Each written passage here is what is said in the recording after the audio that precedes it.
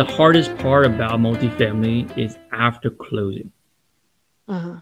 There's more people kind of focus on how to buy it, but not many people talk about how to operate it. And that's where the money is being made, right? Everything up to closing, it's all just a number on a paper. Nobody ever budgeted a pandemic.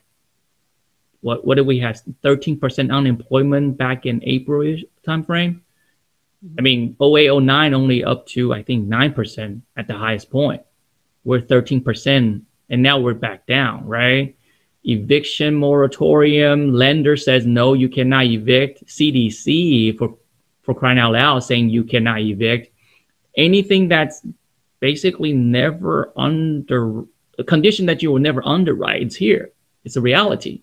So then how do you navigate and still make that return? It's the power of the GP and the strength of the property management company. And that's why COVID 19, as Judy kind of talked about, we were doing once a week call before COVID. When COVID hits, we're doing twice a week calls. And I do on-site visit. I used to visit once a month, and now I visit once every two weeks, depending on, you know, the, the health conditions, so on and so forth, right? Mm-hmm. And what I do, and, and the, here's, here's a major takeaway. When you start getting yourself into the operation of things, we started going, I started going twice, once every two weeks. Once announced and once surprise visit, right?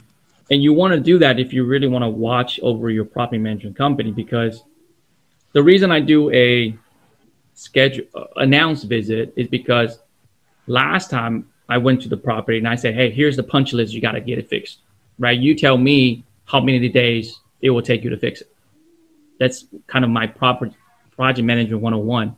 You never push your employee or your task doer on the timeline that you want it. You ask them, "Hey, how much time will it take you?" so that they are committed themselves. So I've always asked, you know, here are the four things I need you to get done. How long would it take you to do it? And then I'll say, okay, great, four days. My next scheduled visit is four days. Hmm. I will expect you to finish all four of them because you said that you will get it done. Right. And then I will do, and I will come back during the scheduled visit. And then I'll quickly come after a surprise visit because you kind of want to catch them in the act and see are you just really looking busy when I'm there, or are you busy realistically, right? And then when you do on site, make sure you watch in the morning and watch things at night, right? The purpose of watching in the morning is because you you want to see who's got a job, because the car if your parking lot's still full, that means a lot of people don't have a job, except pandemic era, sure. right? Yeah. So you want to watch who's at work. I like to see an empty parking lot as much as possible in the morning because people should be out working.